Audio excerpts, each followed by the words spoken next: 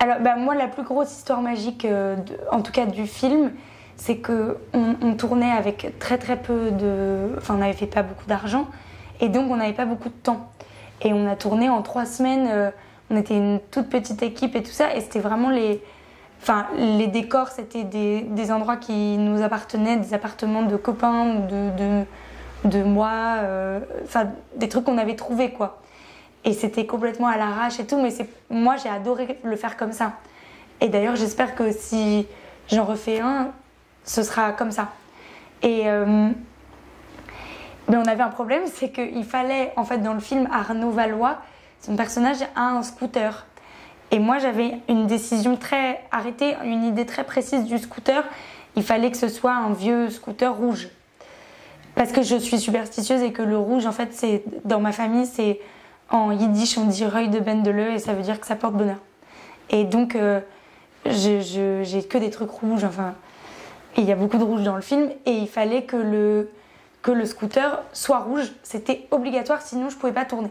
Enfin, je le disais pas, mais moi je le savais. Et hum, on n'avait pas de scooter. Et la veille du premier plan du scooter, on n'avait toujours rien. Et je me disais, c'est horrible, on va pas pouvoir, euh, on va pas pouvoir tourner.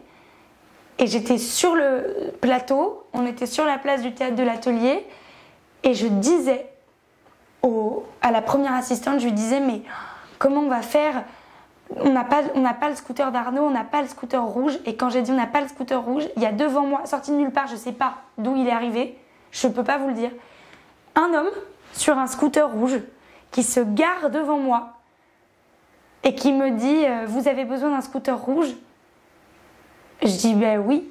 Il me dit Je pars en vacances demain, c'était le lendemain hein, qu'on devait tourner. Il me dit Je pars en vacances demain pour deux semaines, je peux vous le prêter.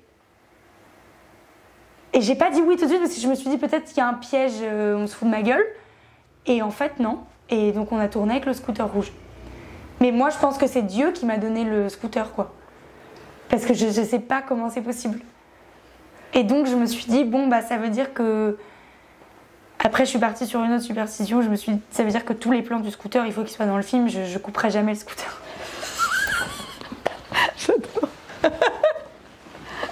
Ah, mais super Vous avez d'autres des histoires magiques comme ça? J'ai d'autres histoires. Alors, j'ai pas d'autres histoires. Ça, c'est pas une histoire magique, mais c'est. Enfin, si. Si, si, si, si. Euh, moi, j'ai un frère qui s'appelle Marcel, qui, pareil, c'est, je, il me rassure vachement. Et le premier jour de tournage, euh, je, je voulais dire un mot à, l'équipe. Et c'était la première fois que j'étais sur un plateau de tournage, que je jouais, que je réalisais et tout. Donc, j'avais vachement peur. Et je, voulais leur parler. Et puis, en fait, j'avais envie de pleurer, mais je m'étais dit que je pouvais pas pleurer euh, devant toute l'équipe le premier jour et tout ça. Et le premier plan, c'était avec Frédéric Pierrot, qui joue mon père, que j'adore. Et il était à côté de moi, il me rassurait vachement, mais j'avais pas envie de pleurer devant lui. J'avais envie d'être euh, forte et tout. Et ma grand-mère, elle m'avait donné une technique, elle m'avait dit qu'il fallait regarder en haut pour pas pleurer.